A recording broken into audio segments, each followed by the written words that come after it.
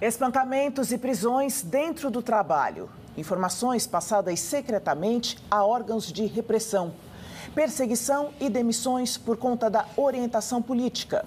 Tudo isso aconteceu durante a ditadura no Brasil e gerou um acordo milionário de reparação da Volkswagen. O termo de ajuste de conduta é inédito e abre um precedente jurídico para que outras empresas envolvidas com a repressão sejam investigadas. Veja na reportagem da correspondente na Alemanha, Lívia Filadelfo.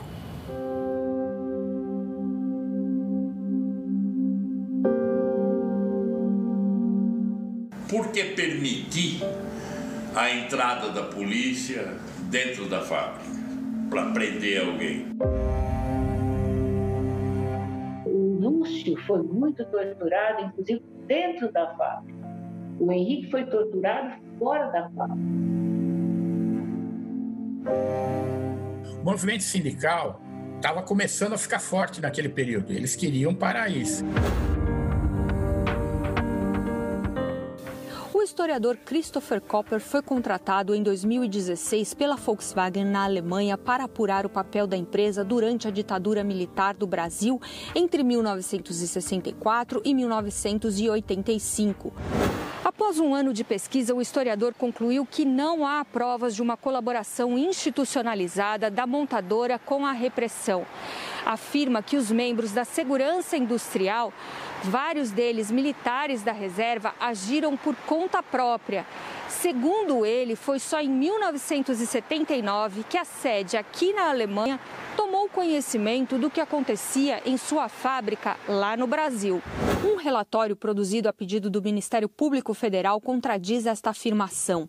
Foram analisados documentos da Volks e de órgãos de repressão como o DOPS e o SNI, Volks não só participou, não só apoiou o trabalho repressivo da ditadura, como incitou algumas vezes, mandando nomes de pessoas para o DOPS ou para o SNI, ajudando a prender dentro da fábrica, mantendo o, as pessoas, os funcionários, às vezes presos lá dentro, horas e horas até chegar a polícia. Foi o que aconteceu com o ferramenteiro Lúcio Belentani.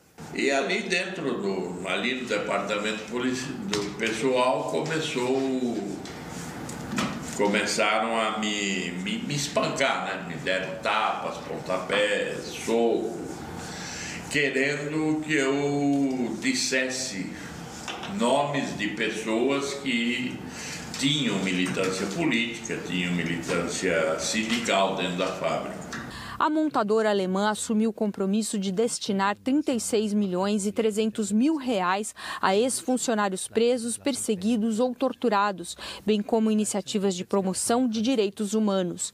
Em troca, serão encerrados três inquéritos civis que cobram a empresa pela aliança com os militares. O acordo também impede que a Volks seja alvo de novas ações na justiça.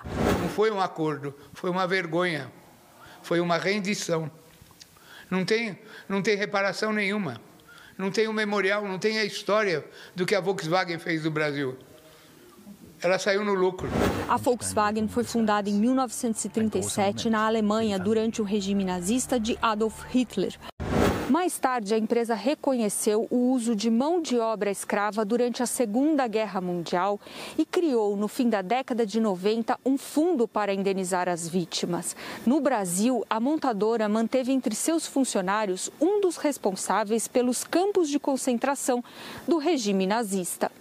O historiador alemão diz que Franz Stangl assinou o contrato de trabalho com seu nome verdadeiro, mas diz que a Volks não sabia que ele era procurado. Segundo o relatório do Ministério Público, há evidências de que Franz Stangl montou uma complexa estrutura para espionar os funcionários da Volks no Brasil.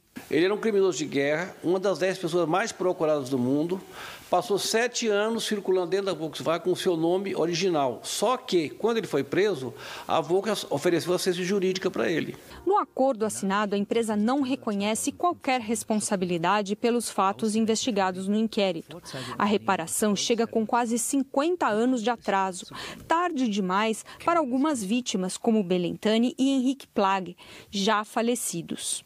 Meu marido não era bandido sabe? Ele era um idealista. Foi muito triste, inclusive, que o Henrique passou, sabe? Ele acabou profissionalmente, não é, profissionalmente. Ele morreu digno, morreu pobre, mas morreu com dignidade, sabe? Então, para mim, foi importante. Agora, coletivamente, a luta continua, né?